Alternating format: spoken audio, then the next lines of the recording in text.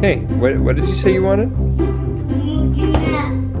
Some Oceans Alive? You get pretty passionate about your Oceans Alive, don't you? Alright, buddy, how do you say it? Oh, okay. Okay, let's get you some Oceans Alive since you asked so nicely, bud. Where is it? Look at all that good stuff we have in there for you. Some Umcka Cold Care just in case. Oceans Alive. Oceans Alive. What is that? Pure phytoplankton. Alright. Let's take your Oceans Alive. Alright, man. Is that pretty good?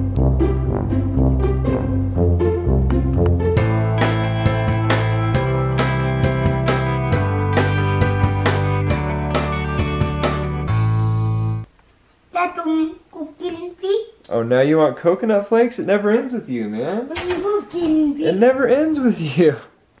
Hold on, let me tell everybody about about why we like marine phytoplankton. And then we can think about some coconut flakes.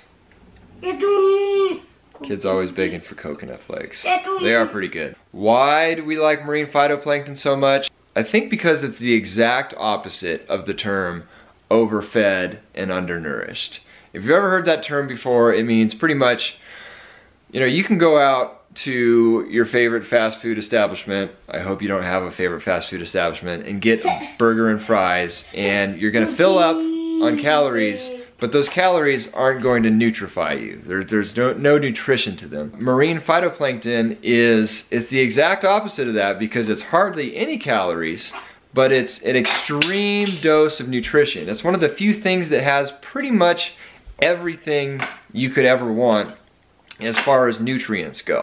All plant-based products have, have a lot of stuff you want in there, different micronutrients. So micronutrients are, are things like flavonoids and you know trace minerals and flavones and isoflavones and so on and so forth. It's just it's stuff that you can really only get from plants that that really you do need for optimum health.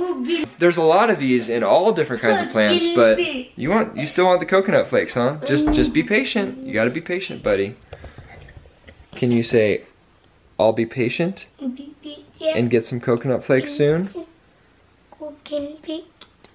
All right, if you're patient, you can get some coconut flakes soon, okay? Marine phytoplankton is one of the few things that has pretty much everything in in one plant product. Uh, it's got, you know, amino acids, pretty much all the vitamins, pretty much all the minerals. You, you it's got your fatty acids, you know, the omega-3s and 6s and all that good stuff. It's really a very complete whole food product, which is why we love it.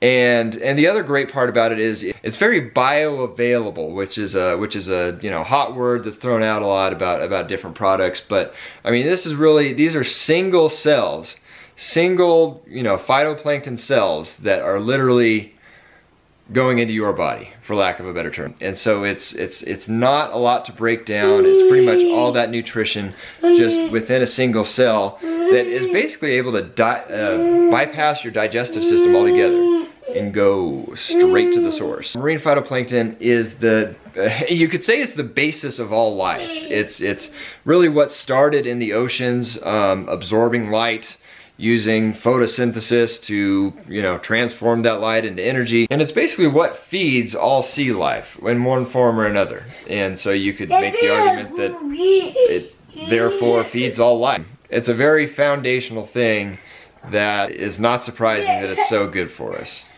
Anyway, it's really great stuff. We don't put all of our stock into any one product. That being said, uh, I like to I like to switch up, you know, various green products. I always try to have at least one super super super food, which is really either marine phytoplankton or moringa. I think are my two most super green foods, and then we'll we'll rotate a big cast of, of green products of green products from there. Just a warning, it does taste like concentrated seawater.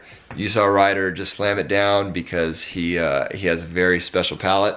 But if you do not prefer concentrated seawater, throw it in, even just if you throw it in a, enough water, you can't really taste as much. It just tastes like a little bit like seawater.